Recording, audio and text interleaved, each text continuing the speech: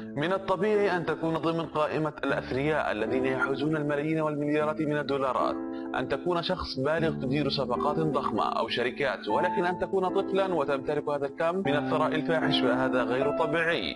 نبدأ بالمركز العاشر جيليان بلدساو وتبلغ ثروته 3.5 مليون دولار ومصدر ثروته هو صاحب ومؤسس شركة بلدساو للتكنولوجيا ونظم المعلومات والتي حققت نجاحا كبيرا في خلال سنتين فقد أصبح بلدساو يمتلك الملايين ويعمل لديه أكثر من 100 موظف في الشركة. أما في المركز التاسع ريكاردو رودريغيز ويملك 4 مليون دولار ومصدر ثروته التمثيل في عدة أعمال من صغره وآخرها دوره في مسلسل Modern Family. أما في المركز الثامن إيل فانينغ وثروتها 5 مليون دولار ومصدر ثروتها من التمثيل أيضا.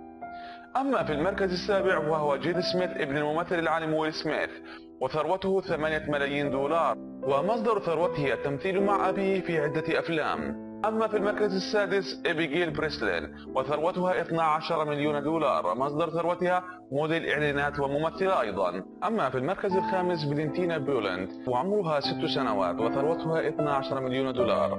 والدها ملياردير شهير وهي ابنة الممثلة سلمى حايك. ولهذا يضع والدها كل سنة في حسابها البنكي بمبلغ 2 مليون دولار. وفي المركز الرابع نيك دالويسيو وثروته 30 مليون دولار ومصدر ثروته أنه يعمل بشركة ياهو بعدما صمم تطبيق اشترته الشركة بمبلغ 30 مليون دولار بالإضافة إلى وظيفة لديها. وفي المركز الثالث دانيلين مارشال وثروتها 56 مليون دولار وذلك عن طريق الميراث لوالدتها عارضة الأزياء الشهيرة آنا سميث.